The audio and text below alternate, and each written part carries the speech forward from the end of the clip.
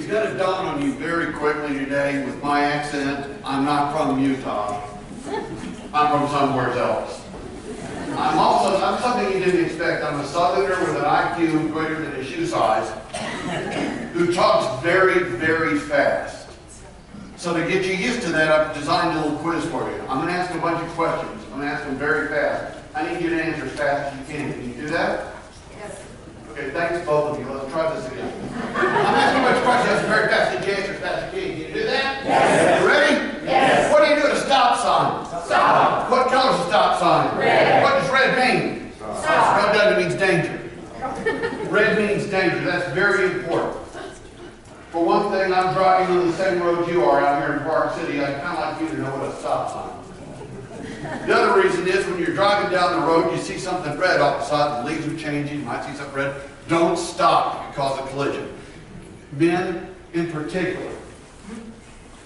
If you're driving down the road and you see a woman walking down the street in a red dress, don't stop. It means danger. Okay, two more questions and we're out of this session. Ready for the last two? Wait, we're up to three now. Let's try this again. Two more questions. Ready for the last two? Yes. Sure. What do you do to yield sign? What color is a yield sign? Yellow. Everybody says they're yellow, but since 19, well, actually the last 40 years by federal law,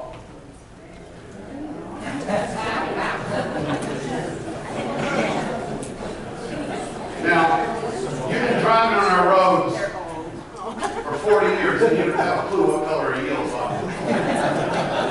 How many did you have to pass just to get here? My question is, what else has been going on that you have overlooked or you might have missed in the last 40 years? And that's what we're going to talk about today. Um, I was up we're sitting over here and they're reading the USA Today and Fran and I were talking. I, I wrote USA Today of my own. I like it when they hand these out at hotels. They're really cool. This is a July edition, if you don't mind me reading one slightly older. Reports show, this is the money section. I want you to hear this. Reports show economy mending. Obama sees the beginning of the end of the recession. Economic indicators keep telling, keep saying what investors have known for months. Things are getting better. The evidence of recovery is building every day, says Jim Paulsen of Wells Capital Management. It's settling and gives people more faith in what they've seen from the stock and bond markets. Fran, do me a favor. Yes. Would you read me just the date of that? July 30th, 2009. 2009. Friends, the economy is down. It's different. If you woke up this morning and you were down over something going on in the credit union or down when deposits are down or membership or things cost too much, it doesn't go up and down. It's different. It doesn't do this. It did this. It's over here now. Losers are down, leaders are different, the economy is down, different. Now, I'll illustrate that with a couple of points. The people who published this book are being run out of business by the people who made this device. This is my, this is my book, it's one that's for sale out there. By the way, I'm having a weird autograph party, let me go over it, I only got one more slide, and we're done. Did I touch a nerve? The whole birthday this slide I got from my daughter. Uh, she went to Lady Gaga concert. This slide was inspired by Lady Gaga. Lady Gaga in her concerts has people tweet her. If you like something you heard, send me a tweet. I'll follow you too. If you don't know what Twitter is, don't worry, okay? But the newsletter, the sign-up sheet, it comes out once a month. The November issue's coming out next week.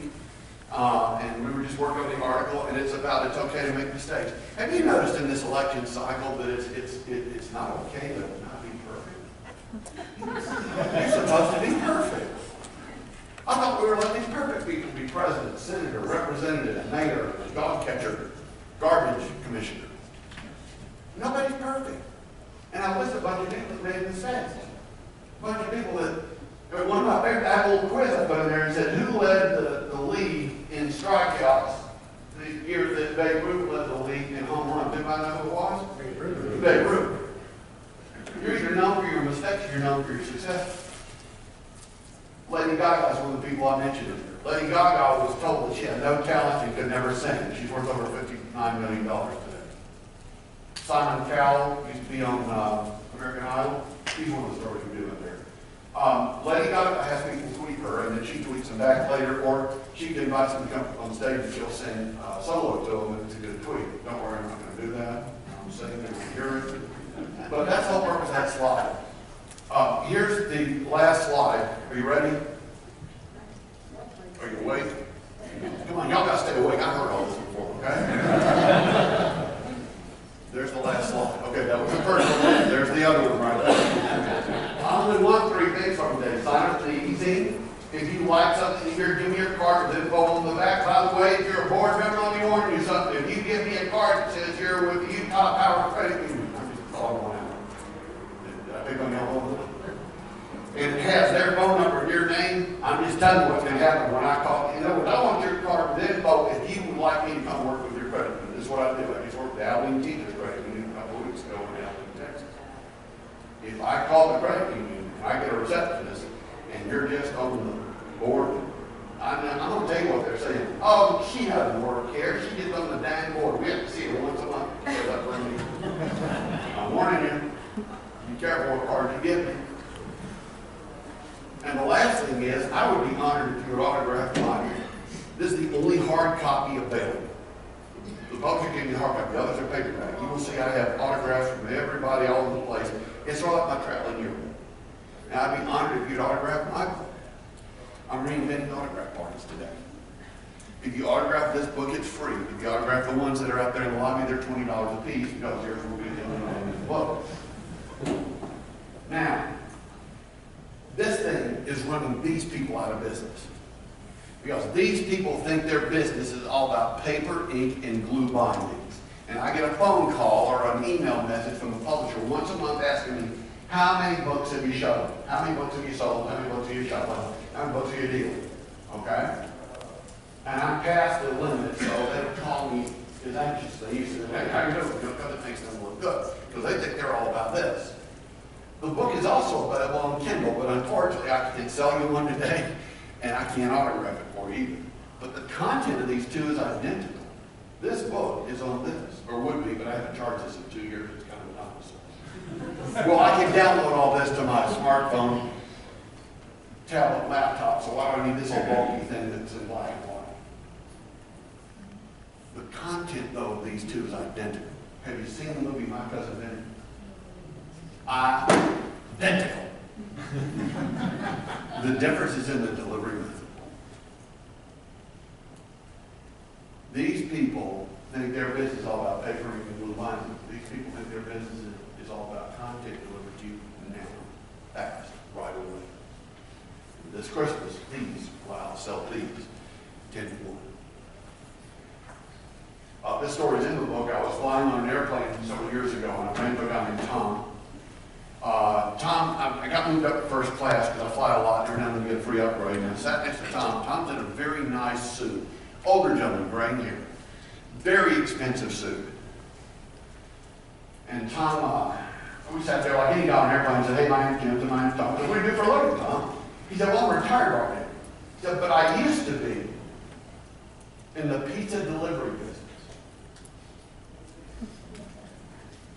He said, you're dressed very nice and you're in first class. That's pretty good for a guy who's little son.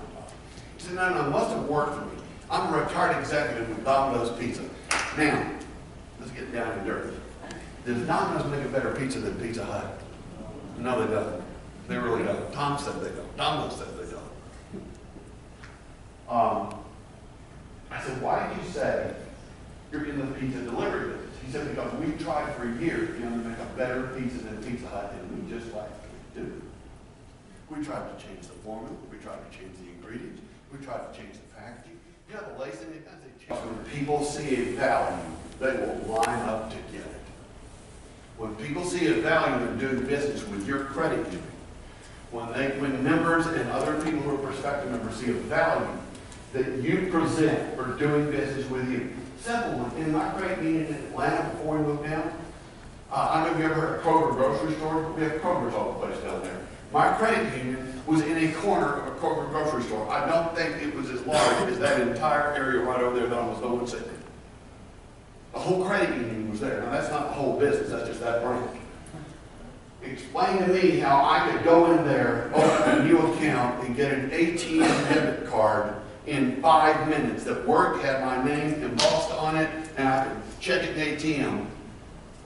And I, and flip side, I'm speaking to an independent bankers group down in Albuquerque. And I was telling this story when one of the guys raised his hand and said, I'm a branch manager of our biggest branch in Albuquerque.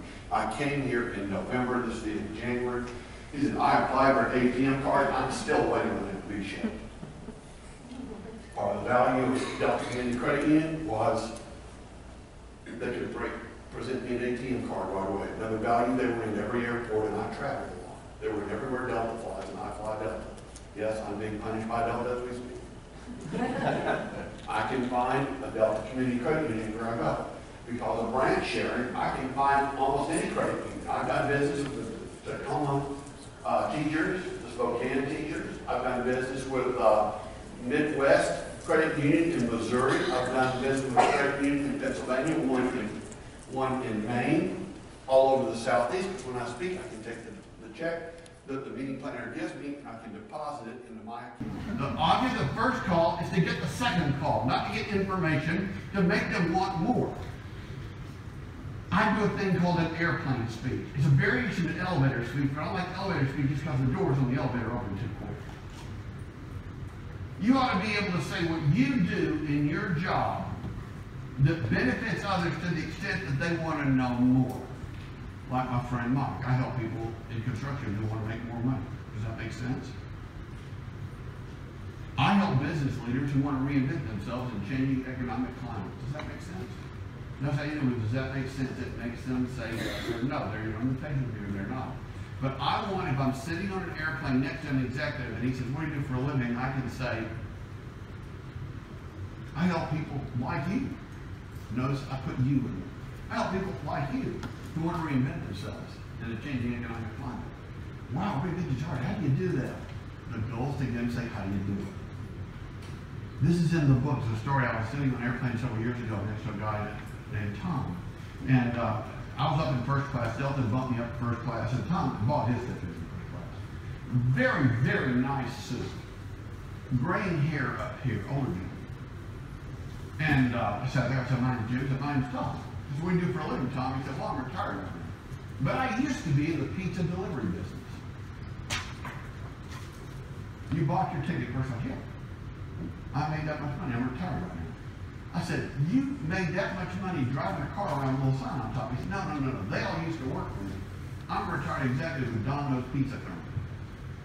Now, real quick, does Domino's make a better pizza than Pizza Hut? No, they don't. Domino's says it. Tom said it. He said, Jim, we tried for years to make a better pizza than Pizza Hut, and we were like, we just cannot do it. But we noticed something one day. Write this one down. Go to free. I'm on free right now. We noticed something. We noticed that when our phone rang, no one was asking us how good the pizza was. Everybody's asking us how after you get here. We got out of the pizza business, got the pizza delivery business. Mm-hmm. And we changed the industry. UPS got, got out of where the heck is my package, got, got out of delivery and into where the heck is my package business. And you call that tracking. Not even the post office, they're not really good at it, but they do. We got a package yesterday at our house. Laura got an email from UPS saying it didn't work. Because UPS got where the heck is my package? That's the number one, what's the number one thing your customers or clients are telling you they want? That's what you need to get the business doing. That is your frequent, loyal base telling you what they wish you would doing.